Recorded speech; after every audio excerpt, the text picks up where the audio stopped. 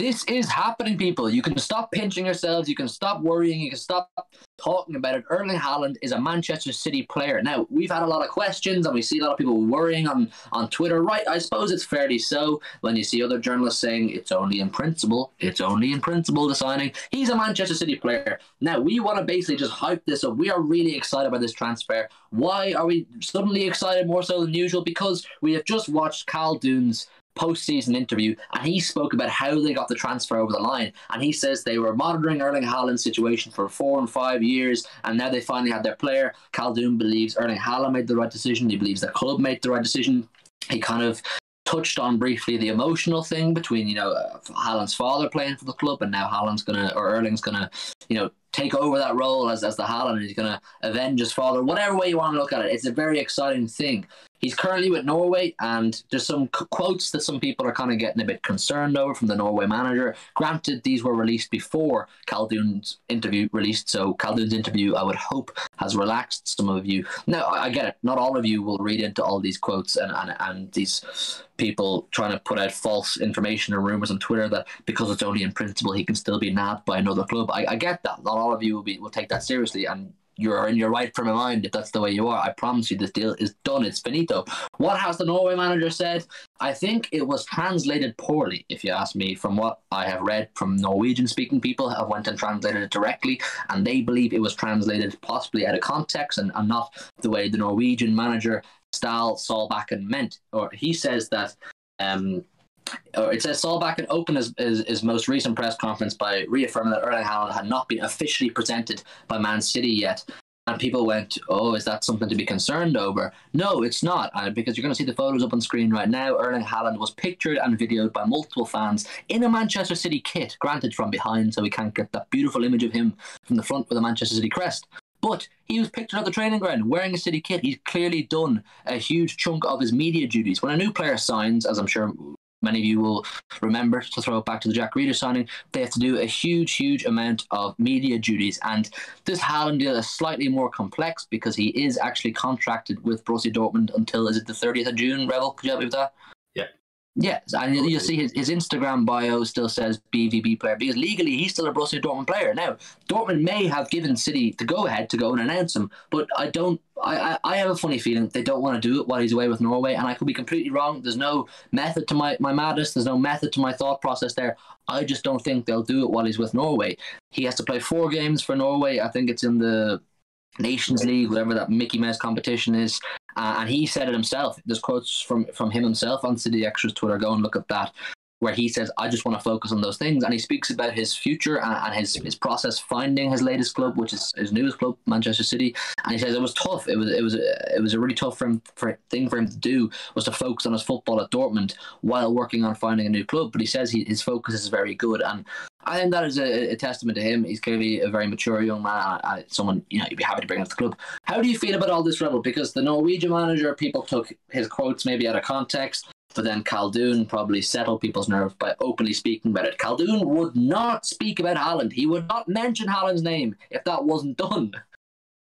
I don't believe there are still people out there thinking that's not finished. That there was any even modicum of evidence to say to the contrary that he's not going to sign because he's going to sign. It's signed, it's sealed, it's done. He he's has in pictures. signed. He, He he's signed. He's in. A, there's pictures of him in a jersey. The manager spoke about him. The player spoke about him. The club announced him. The this, I I think Pep spoke what about what the everything's on. Pep, what no, the Pep, spoke Norwegian- about it. Pep spoke about it. Yeah, Pep spoke about it. Pep. Pep said it. Pep's done. Pep said it. I think what the man now, Berman, I think the Norway manager is correct to do it. Is I think he's he's saying right, we're here. Basically, he, he hasn't said this, but I think what he's trying to say in, in saying about the whole Man City thing is like this is Norwegian duty. We don't have to want to have to keep answering questions about Ha- Haaland on City.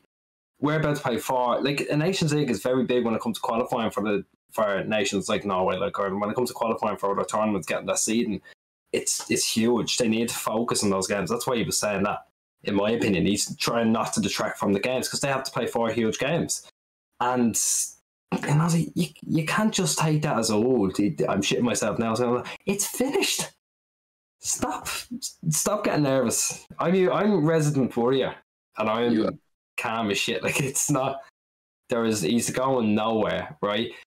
It's funny because like we've seen so many adults like Samuel Payne accounts, you know, like they they have their their profile pictures just black with their initials and white, trying to take the piss, saying like, "Oh yeah, the Madrid are taking him, Madrid are not taking him. It's finished. He's legally still he's a City player.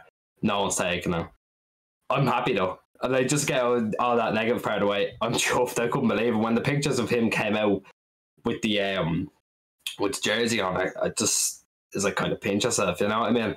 But you know, we were expecting something today. I think we were more so expecting maybe an announcement today. It's currently twenty to ten, and there's nothing. But we got the Khaldoon thing today. I think the Haaland thing's just around the corner. I'd say give it till after the Nations League, and then if you've any, if you've got any worries, any other just lingering fears, they'll be gone because it's done. If you're watching this, please stop getting worried about it.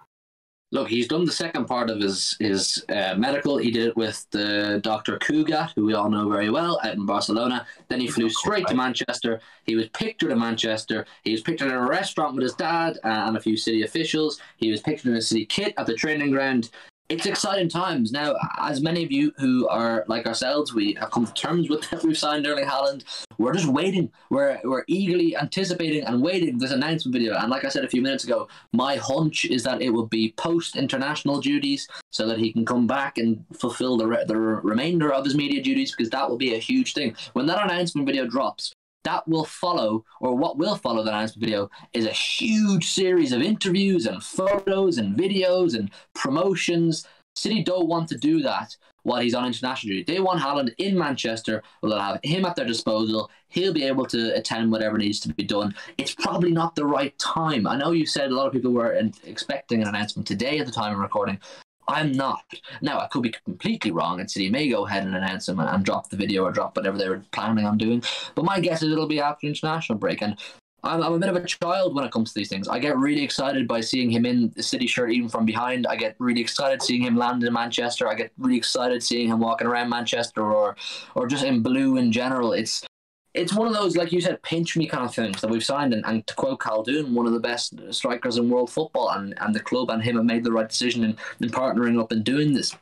It's done. It's happening. This guy is ours. And we just wanted to come on and, and talk to this guy because we're not going to be done talking about this guy. This guy's got, what, a four or five year contract. And you best believe for those four or five years, we will be making videos about him. He is now my favorite player in the world. Jack Grealish, if you're watching, I still do love you. But Erling Haaland is he's the man now, and, and it's it's time to get excited. Whether the video drops now or in three weeks, take solace from the fact that Khaldoon spoke about it. Take solace from the fact that players spoke about it and Pep Guardiola spoke about it. Get down below, involved in the comments. Let us know what you're most excited about with Erling Haaland. Did you see the images? Did they make you excited? Leave a like as well in the video. It helps us massively. It's going to be an interesting summer because sometimes the transfers go quiet and there's not a lot of content to make, but we will continue to make videos three days a week. So look out for it Monday, Wednesday, and Friday.